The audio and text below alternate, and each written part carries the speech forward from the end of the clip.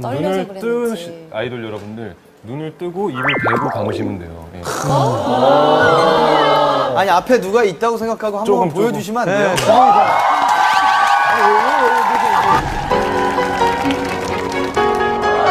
언제나 손 내밀면 닿을 듯한 그곳에 앞에 여배우가 있다고 생각하면 왜냐면.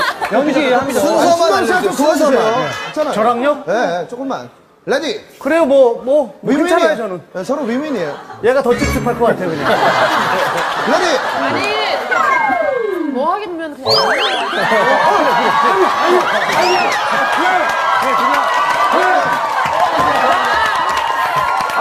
나 얼마 전에 지금 잘하는데 왜 외로워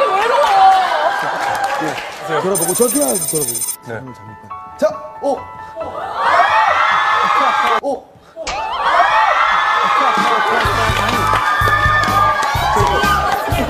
아니 너무 아니 이게 너무 매달 아니, 이렇게 돼.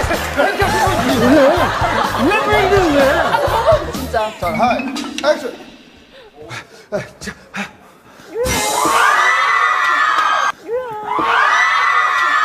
이렇게 이제 이렇게 해서 어 이렇게 이런 이렇게 뒷목을 잡고 그러고 이거는 근데 좀 허리 잡아야 되는 거 아니 아니 아니 조금 이제 여기서 마음이 급하니까 빨리 가, 고 싶고 이, 이 상황을 끝내고 싶어서 이렇게 가면서부터 이렇게 눈을 감을 때가 있어.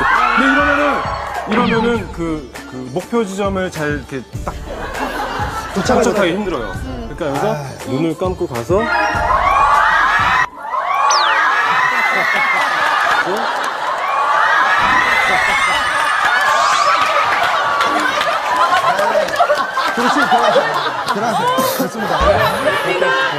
러면 홍현 씨의 그첫 키스 상대는 누구였어요? 아, 드라마에서.